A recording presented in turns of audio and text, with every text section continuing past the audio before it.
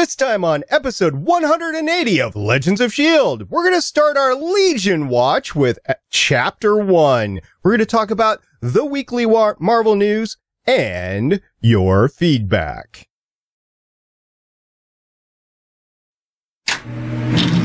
I'm Michelle from the Starling Tribune, a proud member of the Gonna Network. Just like the show you're listening to now, the opinions expressed are those of each individual host. Check out all the other podcasts at GonnaGeekNetwork.com and get ready because geekiness begins in three, two, one. You have been granted clearance by director Phil Coulson. Stand by for shield debriefing.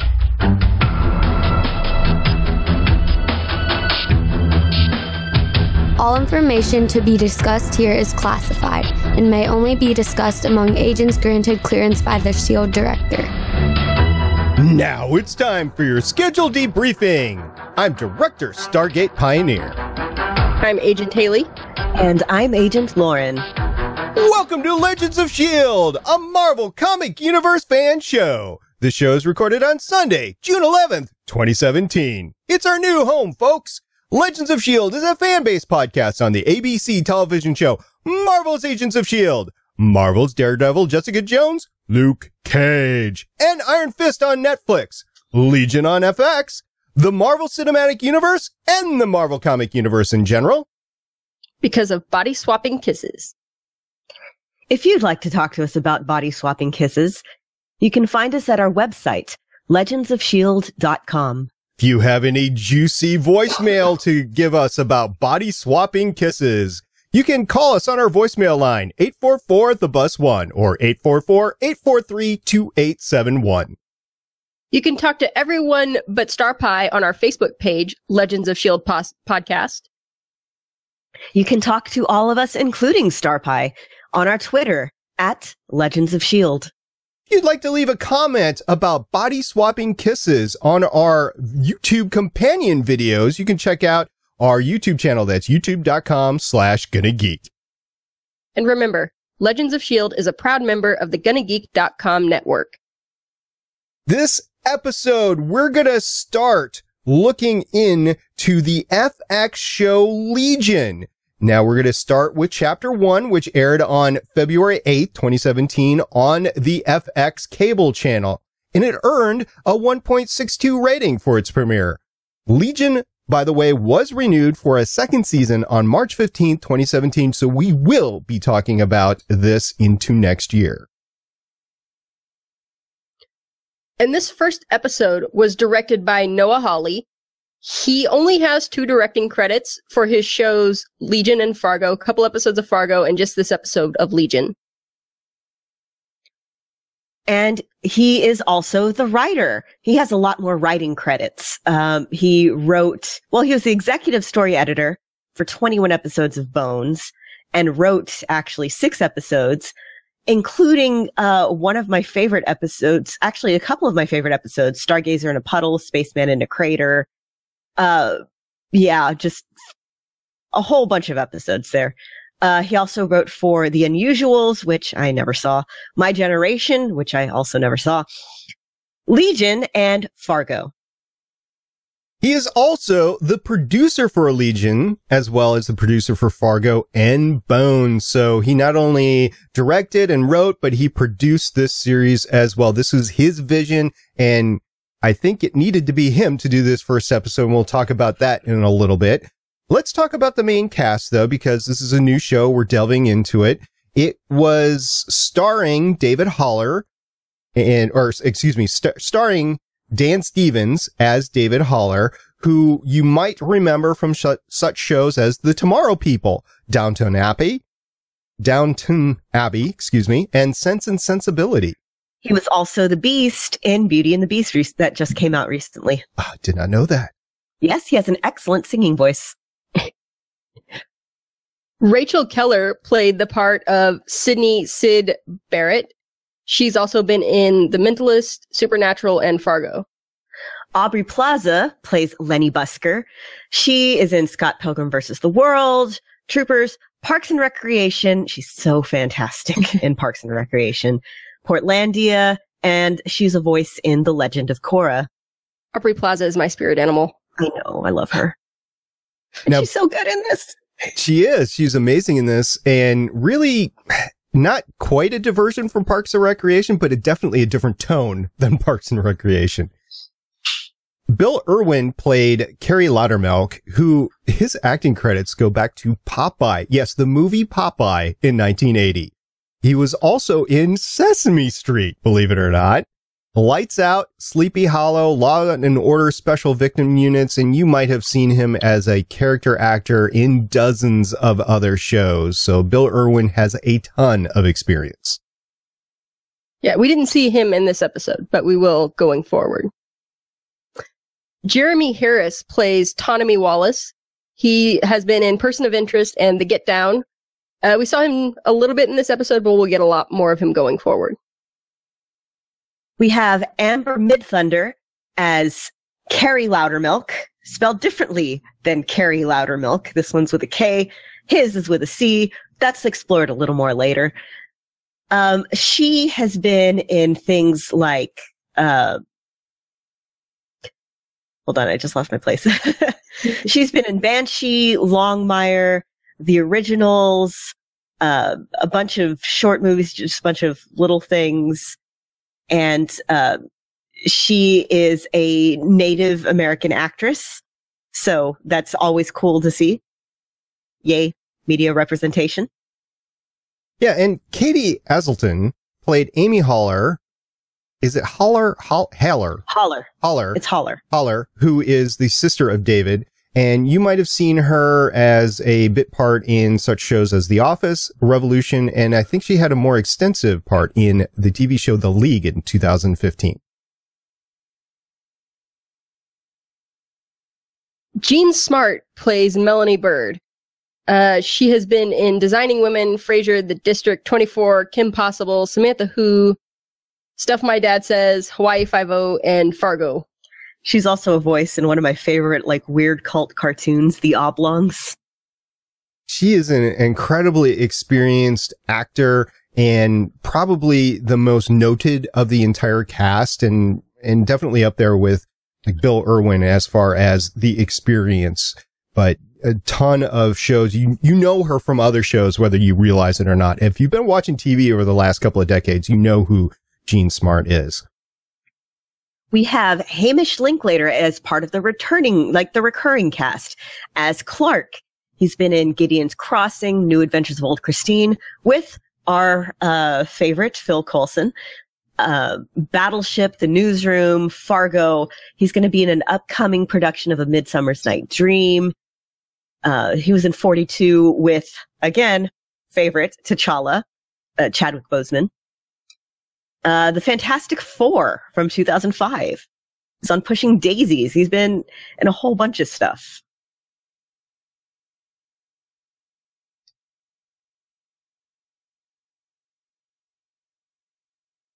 It's your turn, Starby. Oh, I thought it was yours. No. My bad. David Selby played a Blue Breaker. Blue Brubaker. Baker. Brew excuse me. Baker, as in Ed Brubaker, the comics writer. There you go. And da- David has been in such show as The Dark Shadows, The Waltons. That's how far back he goes. Kojak. There's another old one. A movie called Raise the Titanic. Another movie called D3, The Mighty Ducks. Yay. and he was in a voice character as Batman, The Dark Knight Returns, part one and part two. Ellie Araiza is playing Philly. And why'd you shake your head? Yeah, she really doesn't have a lot of Okay. credits to her note today that anybody would really know. So this is kind of her breakout role. Yeah, she does have acting experience though, going back to 2004. Uh, she did some shorts, but none of the other things on her IMDb are things I recognize. She did a TV series called The Bridge. I remember that. I liked that show. Uh, we have Brad Mann as Rudy. He's, uh, kind of a, he shows up in a lot of genre shows. He's in Smallville, Battlestar Galactica, The 4400, Revolution, Almost Human, Supernatural, Fargo. Um, yeah, a lot of stuff. Yeah, definitely. I was surprised to see his IMDb filmography, and it's usually just a bit actor. Like I think he was a Marine on the Pegasus and Battlestar Galactica, so Yeah. you wouldn't really remember him too much, but he has been in a lot of productions. So if you see him and you say, "Hey, that guy looks familiar," he probably does. Yeah, that's right. And then moving on, Quinton Boisclair is plays the devil with yellow eyes, which is hmm. definitely an interesting character. Quinton doesn't have a lot of acting credits to his name, and I, I can't. Actually, Yeah? So I I read an article about this guy when I was trying to figure out who is this guy. Uh, he worked at a comic book store. He's a actually a comics fan, and somebody was walking in, I guess, to buy a bunch of comics, and they realized you have the perfect body type as like a creature because he's like I don't know six five six. He's he's really tall and really skinny. So when they were saying how when he was in the makeup chair and they were getting him all made up as the devil with yellow eyes, he was actually telling the makeup department more about the character and stuff because he's read the comics and he knows all about this stuff. So he was, he ended up being an actual like valuable resource on the set. I was just going to get to that actually, Lauren. So yeah, thank you very much for retelling that. That it was really neat seeing somebody come forward that actually kn- knew a lot about what was going on, which is imperative, I think, in the show because they, I think they probably all had the scripts the entire season before they started, but it would really confuse the crap out of me reading the first script. Even going forward, I would still be confused by the first se- episode script. We have Mackenzie Gray as Walter slash the Eye. This guy has so many credits, y'all, going back to 1992. But uh, just looking at it, like the, I'm gonna look at his. Okay, well, I'm gonna look at his more recent credits. Uh, he's again in Legion. He's a voice in My Little Pony: Friendship is Magic. Uh, he's in an episode of Riverdale. He's in Dirk Gently's Holistic Detective Agency, which I still need to watch. He's a Lord Iranian delegate in Warcraft: The Beginning, uh, which I guess just came out here as Warcraft because I, it didn't do well in the U.S. to get a sequel, but it did well everywhere else. Uh, Legends of Tomorrow. He's in there as uh, Time Master and Council Member Number One. He's wow. He's just in so much. Uh, Metallica Through the Never. Uh, Ninjago. He's a voice. He was Obadiah Stane in Iron Man Armored Adventures, which was a cartoon that ran for a couple years back in like 2008 through 2012. Um, he was Lex Luthor clone and Dr. Alistair Krieg in Smallville. He's just been on a lot of stuff. Like, wow, so much stuff. I know. I was, Babylon 5, Legend of the Rangers. yeah, I was looking at his IMDb, getting ready for this, his phono- filmography, getting ready for this podcast, and a couple that caught my eye, like Andromeda and Fringe. But the one that I was like, oh, I still need to watch this. It was on my watch list for a while and I just haven't done it was Stargate Infinity. It was that great cartoon about the Stargate Oh universe. yeah, yeah. I saw it. I remember I saw the DVD at an HEB precisely once. Didn't pick it up for some reason and have never seen it again. Yeah, so I definitely have to see that. And oh, by the way, just today, a co-host of mine on other podcasts, Chris Farrell, just linked me a story that Stargate Universe is going to continue its run as a comic book with I've the been seeing that. yeah with the American Mythology uh, brand in I think this week or next week when it drops. So I definitely have to add it to my pull list. It's just going to be a short comic run detailing how the cliffhanger ends. So it's not really done by anybody that is in charge of like canon for Stargate universe, but it's as good as it's going to get for anything out there as an ending to the series. So I can't wait for that. But anyway, th- that's all because Mackenzie Gray was in Stargate universe as far as me thinking about Stargate recently, which is woohoo, Stargate. Yay. Scott Lawrence is playing the part of Henry Poole, and he's got a long acting pedigree going back to Murder She Wrote. He was also in Newhart, LA Law, Murphy Brown, Quantum Leap, Time Cop, Star Trek Voyager, Touched by an Angel, The West Wing, Jag, Bones, ER, Avatar, The Social Network, Sons of Anarchy, Star Trek Into Darkness, and Fear the Walking Dead. So just a as you could tell, there is some substantial, uh, experience on this show. Another one that I need to bring up is Devin Dalton, who was largely a stunt woman, but she did play the role of the angry boy in this series so far. So she's also been in Supernatural and War for the Planet of the Apes. And kind of rounding up the recurring cast is Jermaine Clement as Oliver Bird. So I really love Jermaine Clement. Um, he's probably best known for Flight of the Conchords. Uh, he's also in What We Do in the Shadows, which is one of my favorite movies. And actually, you can hear me uh, talking about it on um, Art House Legends. Uh, he's also a voice in Despicable Me. He's in Men in Black 3. He's in Muppets Most Wanted. Uh, he's in an episode of Rick and Morty that's absolutely fantastic. Mm-hmm where he's doing like a Dave, David Bowie type song. And he does a David Bowie type song again in Moana as the voice of Tamatoa, the giant crab. Uh, he's just a lot of voices. He's in another period, Trip Tank, Inside Amy Schumer, the BFG. Just, he's a really funny guy with a really great voice.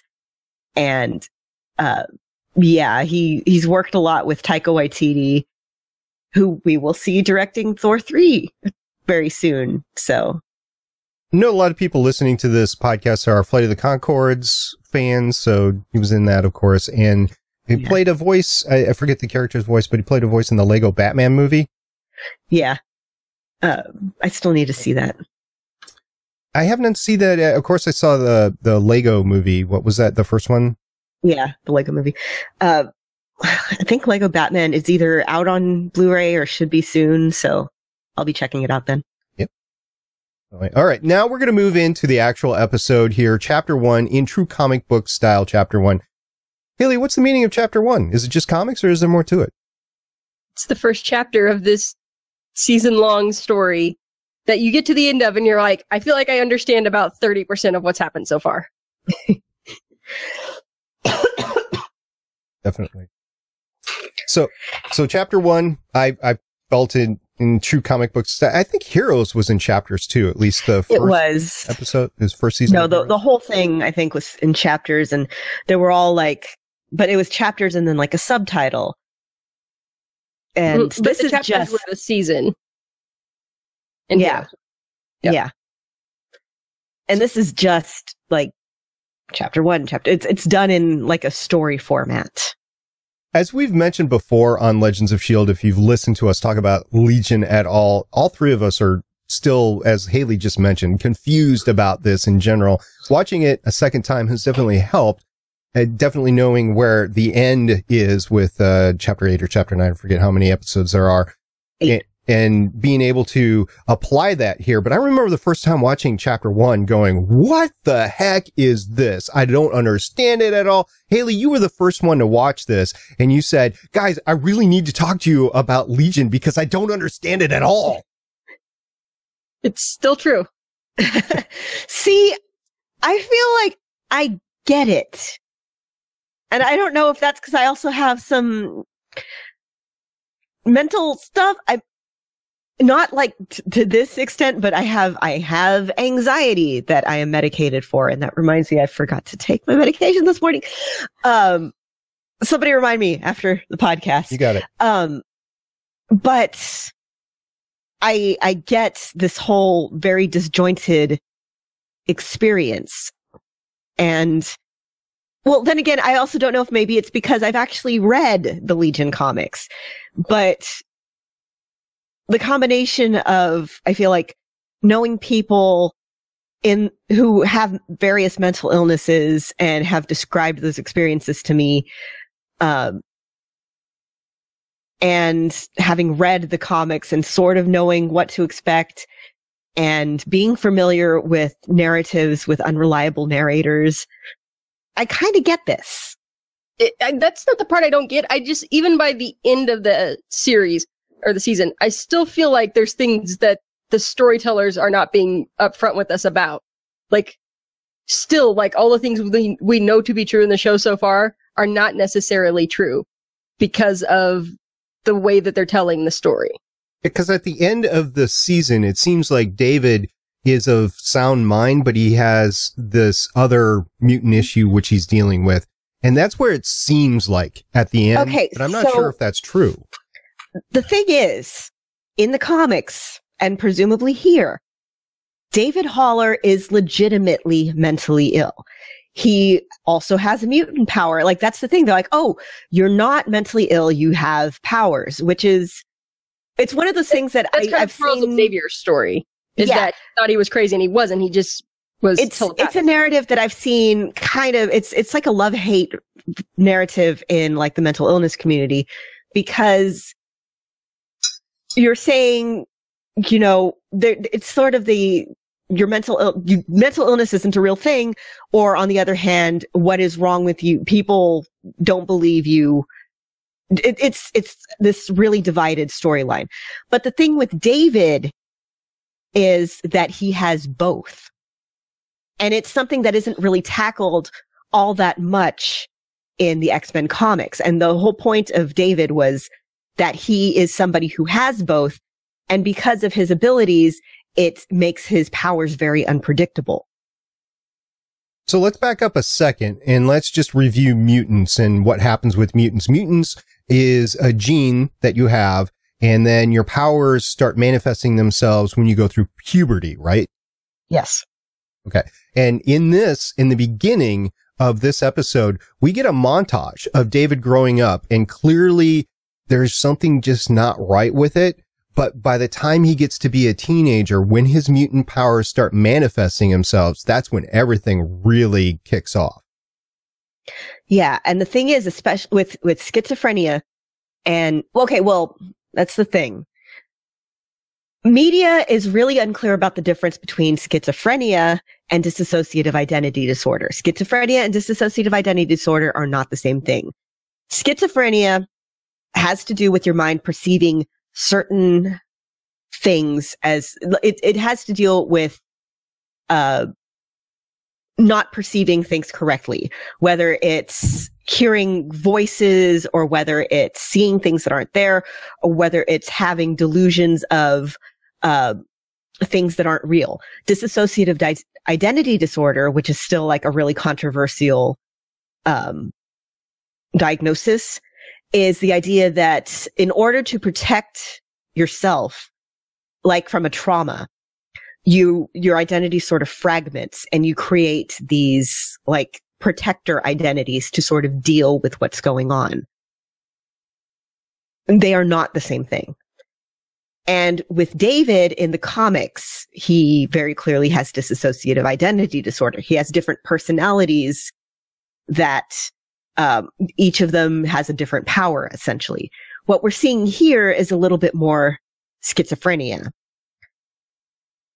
See, Haley, this is the sort of stuff that we were missing for the last few weeks when Lauren was away. she is our walking, talking DSM-5, the Diagnostic and Statistical Manual of Mental Disorders. So it's so great to have you back on the podcast, Lauren. I really missed you guys. Like when I was just like lying on the couch, just like shaking with fever and stuff. By the way, I had bronchitis. Um, not I've heard fun. that. It was not fun. yeah, not fun. Yeah, it wasn't full-blown pneumonia where you get the really good drugs. Yeah, I I was worried about that. I was I was getting ready to go to the doctor, and then the next day I was like, "Oh, I can actually breathe without it hurting my lungs. I think I'm on an upswing." Did you almost pass yourself out or cough yourself unconscious? Because that's always good. Yeah, uh, make yourself sick coughing. That's always Mhm. No, no, you're like, it's happened to me where I'm coughing so bad and that, That you're not breathing in, so you don't have oxygen. right. And Yeah. you- the, the, uh, tunnel vision starts and you start seeing stars and stuff like that. Yeah, and then the, always- the the pressure in your head gets so big that you're like, just somebody kill me now. Everything's terrible. drill a hole But in had- the side I of my had head. Bronchitis. I, I couldn't miss any more work because I was I had been Oh. talked to about attendance. So I just got to go to work for two weeks with bronchitis. Good times. Oh. Was that your former employer? Yes. Yeah. It was Walmart. F those guys. I, I yeah. We we had to be have no very careful for a them very long time talking about Haley's employer, but now apparently it's uh, out in the open. so no there now go. they can just live under the bus for all I care. There you go.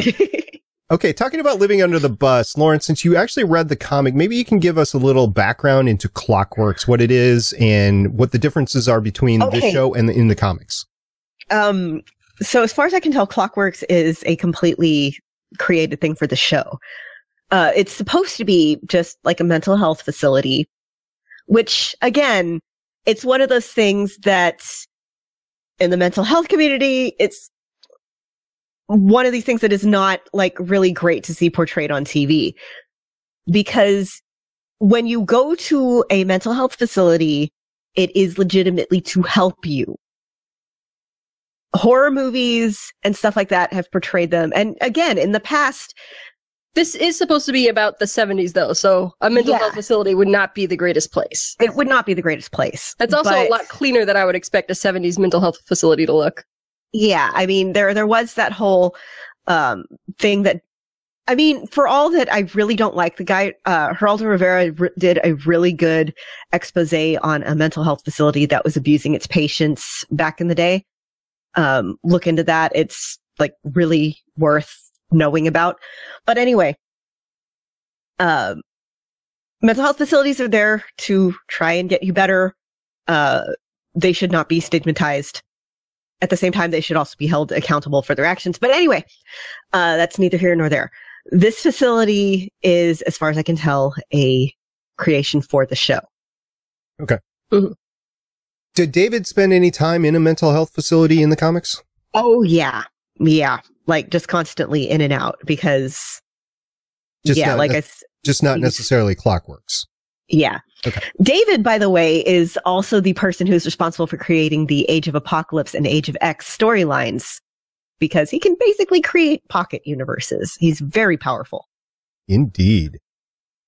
So uh, let's talk about his power a little bit. We see it manifest itself. It- Basically, we're given the entire season in a nutshell in this episode, and we didn't realize it when we first watched it. You had the kitchen scene, you had the scene in the interrogation at the bottom of the swimming pool. So you had different things going on, which were showing what his powers could be. Not all of them, but at least that he's very powerful. And it kind of was re- the first time I watched it, it was like, what is going on? What exactly is his power? So telekinesis, but it's more than that.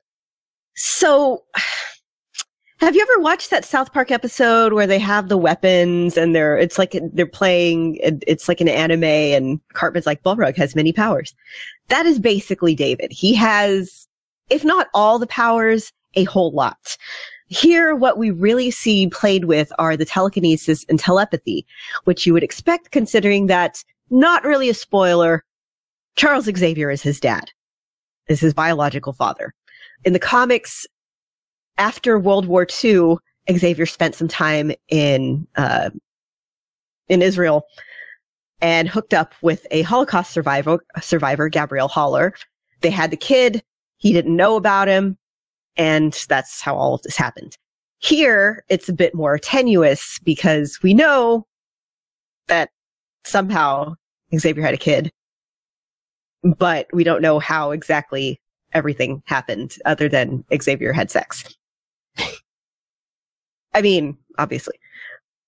But um, we see a little bit of, there's some hints at the whole splitting personalities thing. There's, you know, when he sees the, he's talking to his sister at the very beginning of when we see him in Clockworks. And when she's asking him, do you still see things that aren't there? He sees people in the corner. Are they aspects of his personality?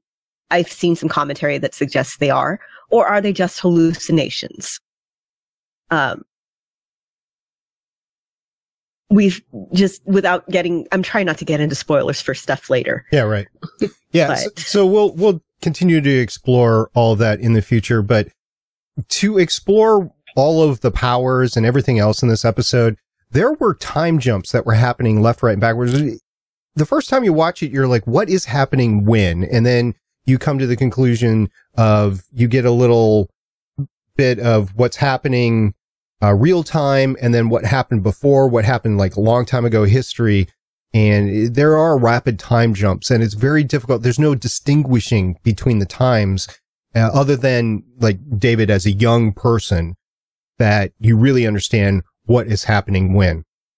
So Yeah, there's like the kitchen scene. There's some scenes where you can sort of tell by looking at his hair. Right. And then as the show goes on and the use of like clothing is recurring, you can sort of tell by that. but it's it's very difficult this first episode to figure Yeah. out what is happening when and that contributes to the confusion as we go on so let's get Which- into Again, just real quick, I feel does really well in putting the viewer in David's state of mind. Mm. This is a person who, because of his mental state and because of his powers contributing to it, has a really hard time focusing on the present and things as they are.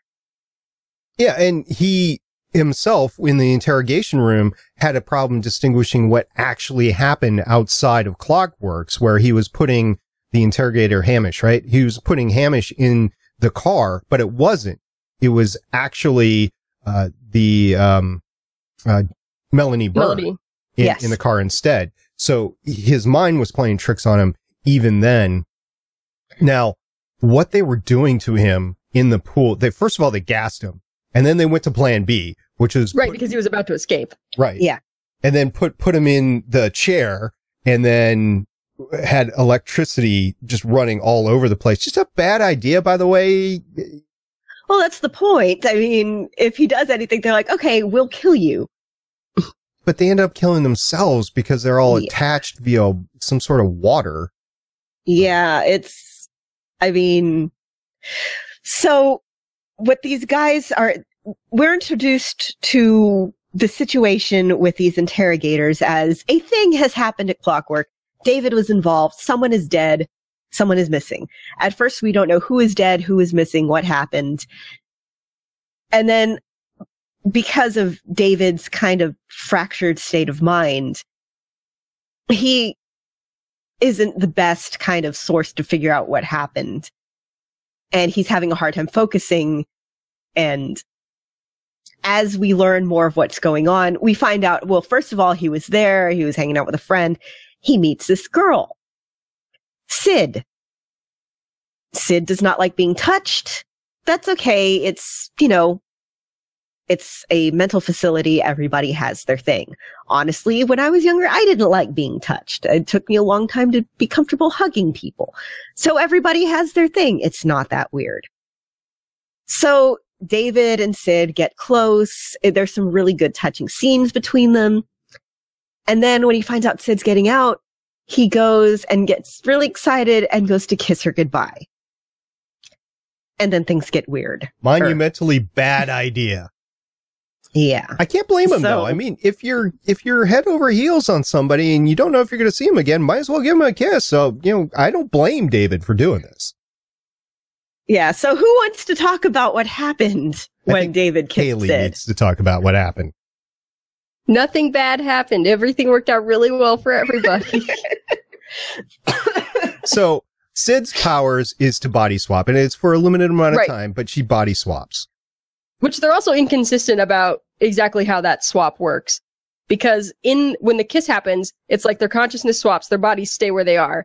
But later when they switch back, their bodies are the ones that move and their consciousness stays where it is. Maybe that's actually how it happens. But then I think the same thing sort of happens later. It's like their consciousnesses swap at first and then the bodies join the consciousness. Okay. So I, I I guess I need It's to pay like more a- attention this like a rubber through. banding thing yeah The I guess in a later episode. the problem anyway, isn't with David. The problem actually is with Syd. yeah, at Right, first you think, because they oh, gave a Nubia bazooka. yeah, at first you think, oh, David did a thing and this thing, and then you realize, oh no, this body swap. And she's in his body with his powers. And again, yeah, they give a newbie a bazooka line and things go very wrong at Clockworks. Yeah, doors Like- are missing. Uh, people Everybody are- sealed in their rooms without doors. People are in walls. Very Philadelphia experiment. not just anybody. And Lenny was. Lenny dies. Yeah. Yes, Lenny. Aubrey Plaza, Lenny. You see her sealed in a wall. It's not great. It's very sad. I was like, but she's a regular in the series. And took See, at the time, I had I hadn't heard much about Legion before watching it, so I was like, I adore Aubrey Plaza. How did I not know she was in this? And I was like, oh, I guess it's because she's only in one episode. not not the case. I mean, we fi- much the we find out at the end of the episode that she's still alive or mentally still there or whatever. Well, at She's first a I was like, oh, yeah, she's a Yeah, figment she- of David's for- mind at the end. at yeah. least. When we because they body swap and uh Syd was getting out when David's you know out, he's like, oh, I'm just going to enjoy this for a bit. And he ends up going to his sister's place once he gets his body back. So he's there. Everything's awkward. See, I was wondering And about then he figment- starts. I, I was uh, just What- wait a second. I was wondering about the figment of imagination because Lenny's actually talking to Syd. It's not just Lenny's in, interacting with David. Lenny interacted with Syd on the way out. Right, but we're being told this story by David, so Oh. you Yes. never know for sure what's happening. Yes. So we see Lenny, you know, David starts imagining Lenny and she's like, Oh, you killed me, but it's cool. I mean, what was I going to do? Just hang out at that place all the time and people are going to come after you. They're going to kill you. And at first I was like, Oh, okay. So he's just going to have a head Lenny for the rest of the series. It's going to be like Battlestar Galactica. And it's kind of wrong and kind of right. Yeah, And we'll talk about that more in later episodes. Right. So we've had all this leading up to at the very end, they come, Syd comes to rescue David in Yeah. the pool. Uh, there's Which, by the way, I love how okay, because yes, this this this group of people, Department Three, comes and gets David, and they call him D three through the whole thing, which is funny because it reminds me of Mighty Ducks, like you mentioned earlier.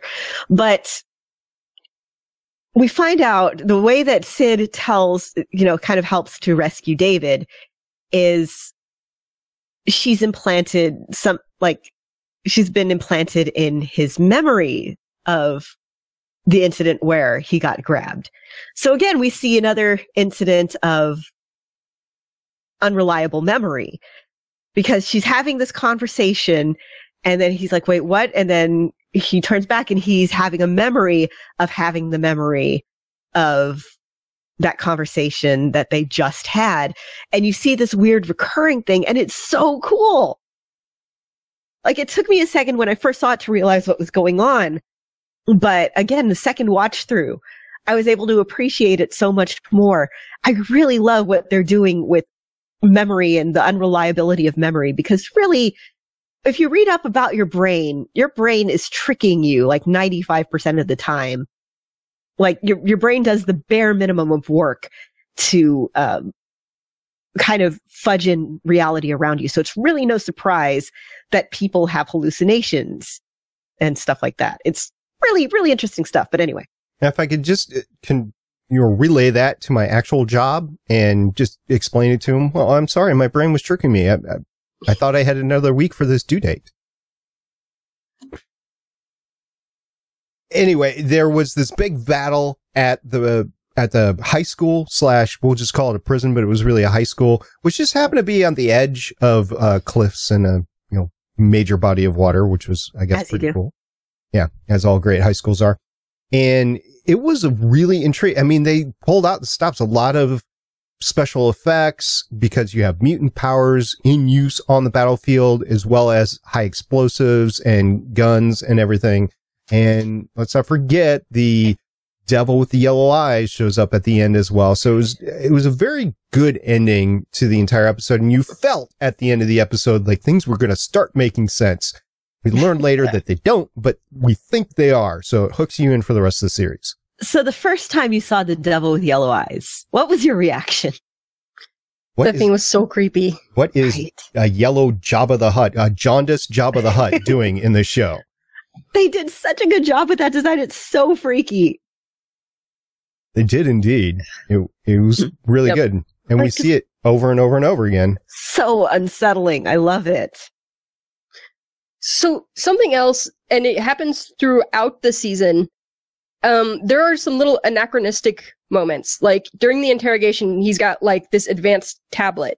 And I was thinking throughout the first episode and even at the end that maybe the story is not taking place when we're told it is. Like we're we're told through everything that we're seeing that this is in the 70s, but maybe that's not the case. Yeah, it's it's a very 70s aesthetic and I know that Noah Hawley went on record saying that he wanted like a very Wes Anderson look to all of this, which you can really really see. But there's yeah, there's these weird anachronisms that make it not quite futuristic, but it, it's like a story out of time. Mm-hmm. And you could explain that by, you know, this is taking place in the X-Men timeline. At this point, there's been time travel in it and more advanced technologies happening earlier than they should have, you know, after Days of Future Past, especially, and the things Trask might have been doing. But it seems odd that you would see something like a tablet in an interrogation room and nobody asks what it is. And there's, like I said, there's other things going forward in other episodes. So this could be being told from Oliver Bird's standpoint as well. True. So you, you have a lot of mind games being played in this across the board and you just never know, but we'll keep an eye on it as we go yes. forward. The, the tablet is a very good indicator. I'm trying to remember about the monitors that were in the tent in the gym next to the pool, if those were. No, I, re- I remember thinking those looked pretty 70s ish. They looked very 70s. They looked very like they would not look out of place in like a 70s sci-fi movie. And you can say, you know, this is some sort of secret covert agency. They're going to have whatever the most advanced thing they could have at the time is. So I if I were seeing like 80s technology, I would be able to say, yeah, sure, they're they're on the cutting edge of technology at the time. Yeah. Yeah. So two things that I wanted to mention real quick. The use of costume design on the show is fantastic. And mm-hmm. the use of music on the show is fantastic. Um, and I can't believe we haven't talked about the little Bollywood dance number out of nowhere at the end. Go ahead. Now's your chance. Let's talk about well, it. Well, there's a little Bollywood dance number out of nowhere at the end. It takes yeah, I mean, there's not much else. everyone's happy and there's not much else to say about it, but yeah, yeah it's, it's definitely it's, there.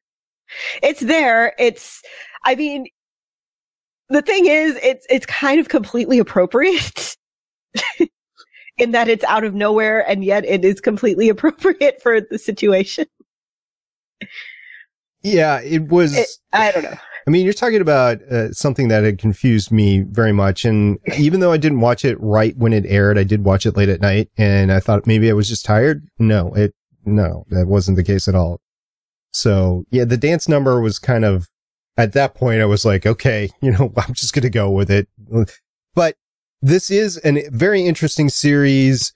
If we've wanted to talk about it for quite some time, I know Haley wanted to talk about it from like the day after it aired. So if you have anything to say about the series Legion in general or episode one or chapter one, episode one in particular, don't be afraid to give us a holler, you know, put us a, a comment on the YouTube channel, send us a voicemail uh, call us at 844 the bus one or 844-843-2871. Send us a tweet at Legends of Shield, or you can send me an email at stargatepioneer at gonnageek.com and we will definitely talk about it next week.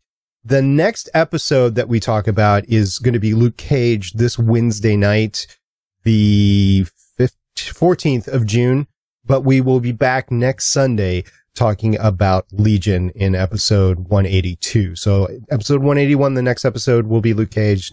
Episode 182 will be Legion chapter two. Haley, any last words? Um, I have a few quotes. I didn't get them all because there were a lot of funny things that were said, but well, you don't have to be a dick about it. you guys have any waffles? really waffle and he ate waffles I, he I, ate so many waffles i mean like tons of waffles so dude yeah. really had some anti-drug stuff going on or something don't, don't give a newbie newbie a bazooka and act surprised when she blows stuff up that's true is this real are you real I just need to know, is this? It, it pretty much sums up this season. Yeah. Yeah. I mean, for all that, okay, I feel like we might sound like we were just jumping all over the place But if you haven't seen the show, watch the first episode and then you'll be like, oh, I get it now. It is available on Amazon Prime, by the way. Uh, you have to buy it for 20 bucks. I think it might be available on Hulu as well. It's, it's currently available on Hulu. It's listed as expiring. So I binged watched it at the beginning of the month and it's still there. So It- I don't know when it's expiring, but apparently it will be at some point. I know some of the Hulu contracts, it's like it, they have the streaming rights to start with, but then once the season's done, those rights go to like Amazon Prime or Netflix or something. Yeah, I actually had to buy the series. It wasn't free. I do have an Amazon Prime membership. The neat thing about watching it on the computer on Amazon Prime is they have this thing called X-ray on the left-hand side, which if you mouse your, your mouse cursor over the screen, the window, it will show up who the actors are that are actually appearing in the screen. And that changes as it goes along to keep up with who's being shown and who goes away. So you, get a better sense of what's going on. I really enjoyed that. That's the first time I ever used it and I will probably be using again. So Amazon Prime, it did good in helping me out understand this particular series. So if any series that that was important, I believe this was important to understand what was going on and who was who. And I still don't know everything of what's going on. So maybe I need to read the comics get a little bit more Read grounding. Legion Quest. Legion, Legion Quest. Quest is a good place to start. And I don't know if Amazon is still having their just major sale on pretty much every Marvel comic ever, but they were for a while there. So check it out. Absolutely. All right. So remember episode 181. The next one will be on Luke Cage as we round out the series there. And then 182 next Sunday will be Legion chapter two. That let's move on to some news.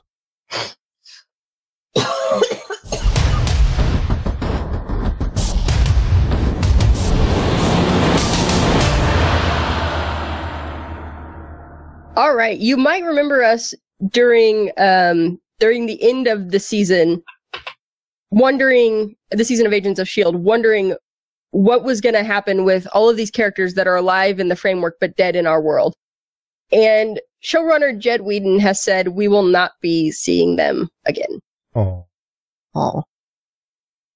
Yeah, I guess they discussed the possibility, but then too many schedules to work out. So never mind. They may come back outside of the framework. That would be, you know, in another car- incarnation. That's always possible in comics. Yeah, I mean something else could happen, but especially at the end with Radcliffe, it kind of looked like everything that had been in the framework is really gone. Bummer. Yeah. Yep. It was nice seeing Trip again though. Yeah. Well, next up in uh, Netflix news, we've got some new set photos from Jessica Jones. Yay! Nice. And uh it looks like everyone is under arrest. I was gonna Everybody's say, going to jail. typical Jessica Jones. Wouldn't be a Jessica Jones season without people getting arrested. Well, I mean, the Defenders teaser trailer started with Jessica Jones in interrogation room, so Well, Just- actually, it looked like just Jessica and Trish, probably. Because there's Yeah. a lot of pictures of Jessica getting arrested and then one of Trish. That can't be good for her work, Trish. Trish talks. I wonder if she keeps the radio show. Maybe No, she, she'll just get a whole new demo. maybe she's got to go to podcasting. Uh, well, and then into some movie news. Chris Evans has apparently extended his Marvel contract. yay! Wow, that was under. we- We were wondering if Captain uh, America was going to go away or not, based on uh, his statements. And then he backtracked a little bit on that because he was done working out, looking like a Captain America. He was like, eh, I don't know if I want to keep doing that. But then the next paycheck came in, and he was like, you know what, I might be into this for a while. So glad on Marvel for re-upping him to extend his. How many movies was it for Haley? I'm not sure. I'm still scrolling through this article. Okay. So usually it's by appearances in the movies, not necessarily full blown Yeah. movies, but I haven't actually ever seen one of these contracts. Okay, so originally it was a six film contract, and so the third Avengers movie would have been his last. But they decided to do Infinity War as the third and fourth Avengers movies. So he signed on for the fourth Avengers movie. Okay. That's basically what it is. One more movie. Yeah, that's all we're guaranteed at this point. All right. Well, we'll see if he's worth it or not. Of course he's worth it. What are you talking about? I don't know. I mean, Captain America gets old eventually. Yeah, but Chris Evans is this precious human golden retriever, so Yeah, don't you be talking about taking our Chris's. yeah. I didn't. Just protect all of the Chris's. You guys can have all the Chris shirtless scenes you want. That's fine. I'm going to have more today. I'm going to go see Wonder Woman again this afternoon. Woohoo! I need to see that again. Anyways, so we Black Panther is coming up very soon, and this week saw the release of a new trailer and a new poster. I am so excited for this. I haven't, like, I haven't seen the trailer yet. I did see the latest one in the theater before Wonder Woman though, and it looked great. So I'm looking forward to seeing this trailer as well. yeah, uh, watch the trailer. Watch the trailer. It's so good. Um, yes. So excited. This one dropped on Friday during the, um, NBA game. And it was immediately put on Twitter because that's how it works. And oh man, just so excited. Like the costume, the sets, the cast, just everyone looks amazing. And seeing like the uh the set designer, the costume designer, they their commentary on Twitter and everything just has me so excited. And oh, I can't wait. I just picked up uh the first volume of uh Ta-Nehisi Coates' run of Black Panther and um Roxane Gay's World of of Wakanda. So gearing up for this. Yeah, the upcoming Marvel movies are indeed good. The next one is Spider-Man: Homecoming, which will come out around the Fourth of July here in the United Yeah. States, and the ladies will be podcasting on it that Sunday. So keep, Yes. keep uh, tuned for when that releases, since I will not be in studio, not able to stream it. So just stay tuned for that. Haley, is that it for the news for the week? Uh, that is it. It's Oh. all the news that's fit to print. All right, we'll keep on it next time. In the meantime, we're gonna hear what you had to say.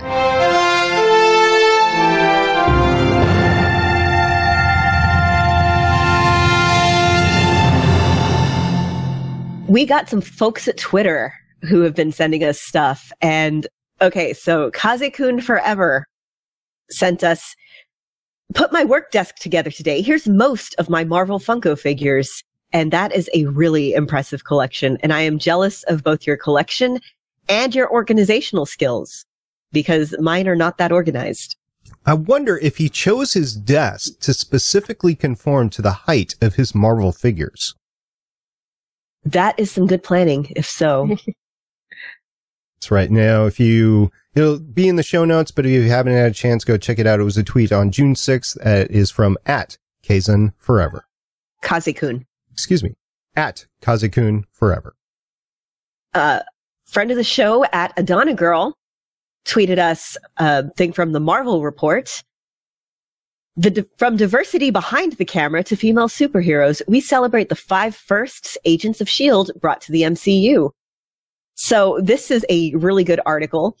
First LGBTQ character, uh, with Joey from the Secret Warriors. First Asian American heroes in superhero TV ever with Daisy Johnson and Melinda May. Storytelling firsts that carry over to the MCU at large. Uh, everything from the Inhumans to the return of Hydra got its start on the show, even the introduction of the Supernatural. Diversity behind the camera. With one of the first female Asian American showrunners with Maurissa Tancharoen and writers like Nora Zuckerman and Maurissa penning scripts. So they have like a lot of female writers. First recent female centered Marvel superhero show with, of course, Daisy taking the lead on the show. And yeah, just a lot of firsts for Agents of S.H.I.E.L.D. That was, it really drove the point home. And it's like, yeah, these are even more reasons to love this show. Thank, I'm so glad it got renewed. Now, have, have we had director Hill on the show yet? Yes, um, oh, several seasons ago. Right. But was she director at the time? Oh no, no, No, she's never been made official director, I Okay, don't so- think. So it would be nice to have Director Johnson on the show at some point in time. it would be. Adana Girl also tweeted us a really amusing picture. Uh, she retweeted it from uh, at Lorraine Cink, uh, C I N K. Ready for Thor Ragnarok? Like, tell us about your hammer, Thor. Mhm. Says Mary Jane to Thor. It's With Peter Parker staring from the background. looking disapproving, and Thor is like, "Hell yeah, I'm going to tell you about my hammer." Mary Jo and, And these are not the hammer. yeah, Mary Hammer Jo and Peter penis. Parker aren't exactly an item in the, uh, at least as far as I've gotten in the all new, all different, uh, amazing Spider-Man comics. Yeah, because if I remember right, it was Joe Quesada who was like, Spider-Man isn't relatable if he's married. Let's make him have an actual deal with the devil to break up his marriage. And it's still dumb, but The last well, I we're re- getting, I guess, a month of Mary Jane variant covers Oh. soon. So Well, the last I saw, she was dating Tony Stark, and I know that's changed. I just, I'm not current yet. As you can tell by Legends of S.H.I.E.L.D. Longbox Edition, we are on Yeah. October 2016 and catching up rapidly. So stay tuned to that and go over to legendsofshield.com. Actually, go to gonnageek.com for all of your Legends of S.H.I.E.L.D. Longbox Edition needs. we also have a YouTube comment this week. Uh, so Narrayantix said, awesome job on your Luke Cage coverage. I can't wait to hear what y'all, what you'll have to say about Legion. New Mutants. Yeah. And we need Agent Carter. Peace out. To which SP replied, thank you. What's your favorite Luke Cage episode? To which Narrayantix replied, truthfully, SP, I'm a Luke Cage fan from forever, so all of them. I cheered a little when the night nurse arrived on the scene, and Misty Knight's characterization is on point. I think Netflix did a good job bringing the comics to life. I can't wait for the Defenders to see how the ensemble work together. Neither can we. Um, It's one of the so reasons. geared up for this. Yeah, that's one of the reasons why we're doing two podcasts a week to get caught up with the defenders in mind by the end of the year. We'll see if we can do that. Thank you very much, Neary Antics. We really appreciate you commenting on YouTube. And for everybody else, feel free to comment on YouTube. Might take a week or two for your comments to find your way into the show due to our workflows, but we will definitely look into that. Ladies, it is time to enjoy our Sundays and walk this one out.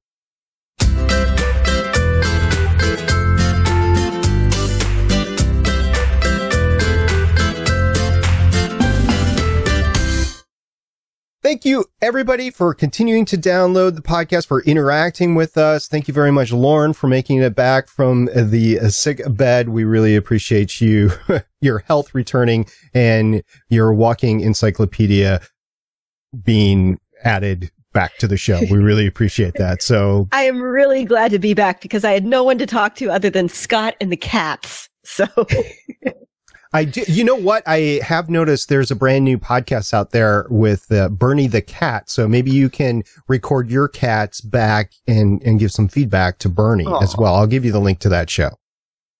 please do. We really want to thank everybody who's reached out to us over any form of social media, uh, Twitter, Facebook, YouTube. Uh, if you feel like calling, we would love to hear from you. We really love when, whether you give us your episode feedback reaction or just send us things that you think we'd be interested in or think that we'd find funny. We really, really appreciate it. We love hearing from you. We love knowing that you like listening to us. So thank you. Yeah, thank you to everybody that's listening. Uh, let us know what you think of the new two a week format. Um, how it's working out for you, how you like getting this extra, extra awesome goodness that we're sending your way. Uh, we appreciate all your feedback and we love to hear from you.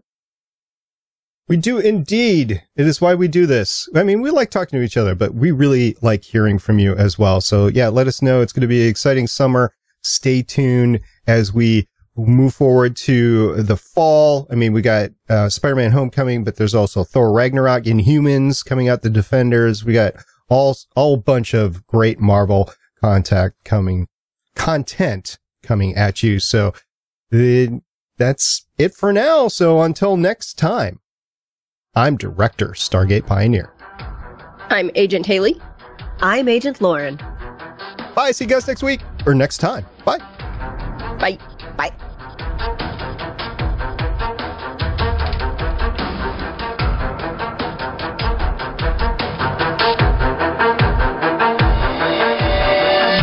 Thank you for listening. If you want to leave us feedback, go to gonnageek.com and you will find all our contact information and other shows. You can also visit legendsofshield.com where you'll find our complete archive of podcasts. The music heard on this podcast is by Kevin MacLeod, found at incompetech.com, and also artists on pond5.com and audiojungle.net. The opinions heard on this podcast are those of the individual hosts and do not represent Stargate Pioneer Productions, Legends of S.H.I.E.L.D., or Gonna Geek.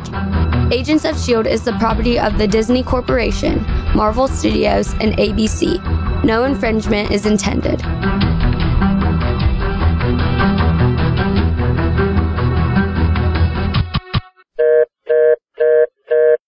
Legends of S.H.I.E.L.D. is copyright 2017.